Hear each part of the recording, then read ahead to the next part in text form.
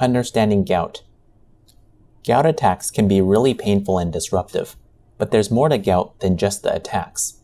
In this chapter, you'll learn about the causes of gout and what it means to have gout, the disease, which is there even between the attacks. Gout happens when there's too much uric acid in your body. So much uric acid that it starts forming uric acid crystals in and around your joints. The crystals cause gout attacks and other problems from gout, like damage to the joints and gout lumps called tophi. Without uric acid crystals, there is no gout or any other problems caused by gout. The whole chain of events is what we call gout. The first part, where there's too much uric acid accumulating to the point that uric acid crystals start forming, happens quietly. You don't feel this at all, and it can take many years for the crystals to form.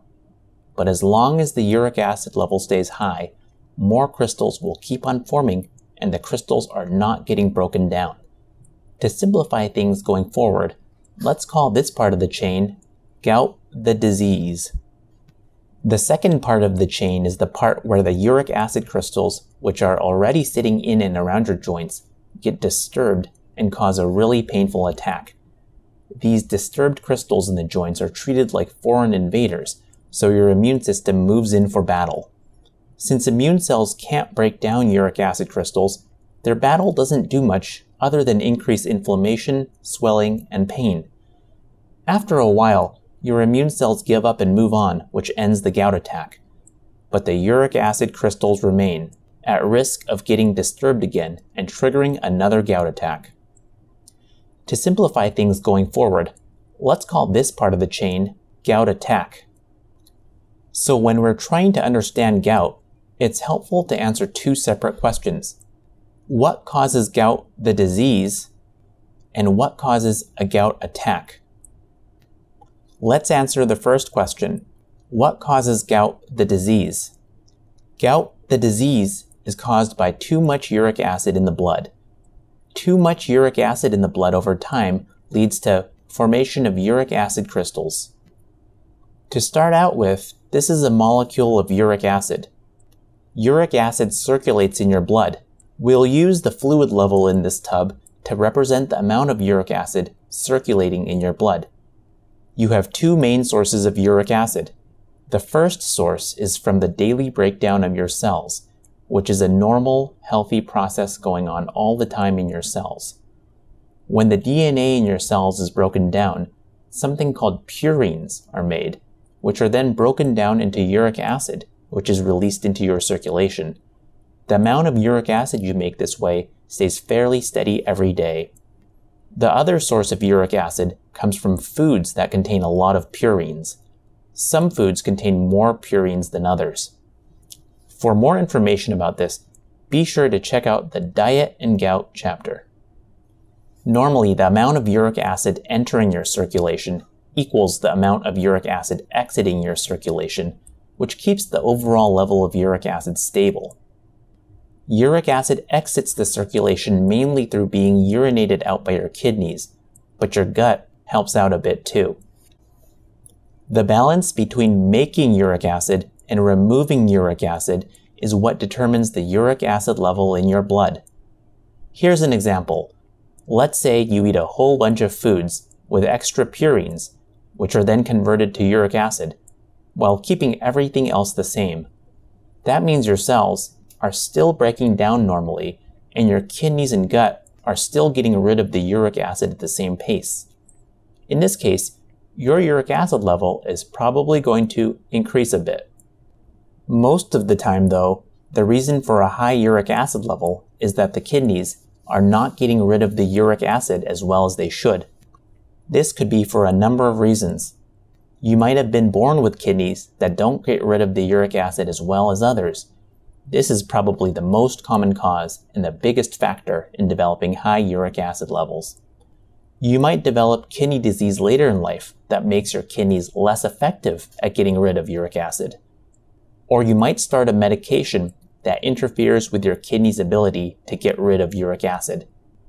Any of these things can cause your uric acid level to go up. Having a high uric acid level by itself isn't gout, though. Gout happens when a high uric acid level causes uric acid crystals to start forming. When it comes to making uric acid crystals, the number to remember is a uric acid level of 6 milligrams per deciliter. You can find out your uric acid level by a blood test. If the uric acid level stays below 6 milligrams per deciliter in the blood, uric acid crystals can't form. With no crystals, there are no gout attacks.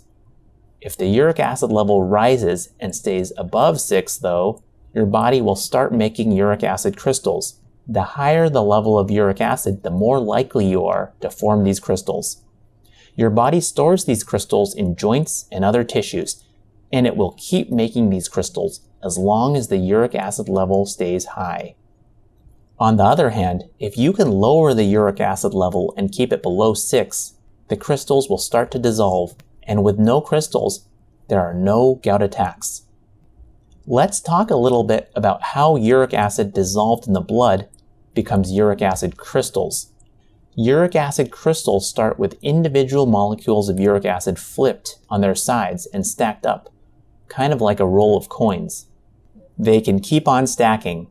This process results in a long needle-shaped crystal that is visible under a microscope. So why does a high uric acid level lead to crystals being formed? You can think of it as a matter of how crowded the uric acid molecules get.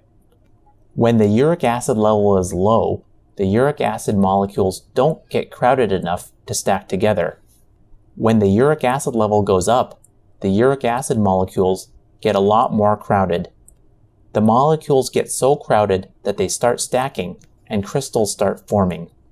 As long as the uric acid stays high, crystals keep on forming these crystals can become lumps called tophi, like the one seen here on the foot.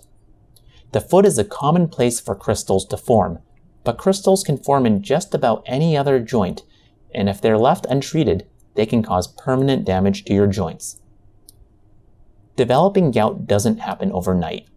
Living with a high uric acid level and forming uric acid crystals can take years or even decades before it becomes a noticeable problem. Fortunately, gout can be cured using medication to lower the uric acid level in the blood and dissolve the crystals, but this can take months. For more information about lowering the uric acid level, be sure to check out the Curing Gout chapter. Let's go back now and answer the question, what causes a gout attack? A gout attack happens when your immune system reacts to uric acid crystals and begins to attack the crystals. To better understand this, let's take a closer look at what happens in the joint when someone with gout experiences an attack. In someone with gout, uric acid crystals have already formed in and around the joints. The crystals are always there, even between gout attacks. That's what having gout the disease means. A gout attack starts when these crystals get disturbed. They can get disturbed physically or by a change in blood uric acid levels. There are lots of things that can change the blood uric acid level. What you eat or drink can make your uric acid level go up.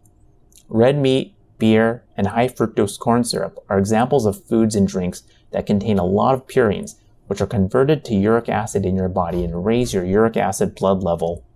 Changing kidney function for any reason can affect the uric acid level.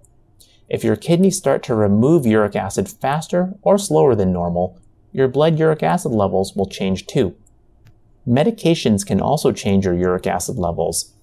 For example, diuretics, which are medications that make you urinate more, can increase your uric acid level. Finally, dehydration can make your uric acid level go up too.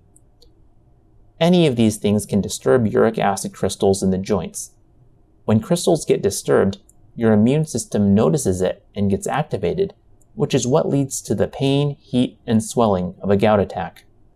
There are immune system cells constantly monitoring the crystals. These cells are quiet and relaxed unless the crystals get disturbed. When this happens, the immune cells activate and try to fight them. This process results in inflammation, pain, and potential damage to the joint. Eventually, the immune cells calm down and go back to being quiet again. The attack is over for now, but the crystals remain and may get disturbed again, triggering another attack. Now that we know how to define gout the disease and gout attacks, let's put our knowledge together. High uric acid levels over time cause gout the disease by forming uric acid crystals throughout the body. This can take years to happen, and you normally don't feel it.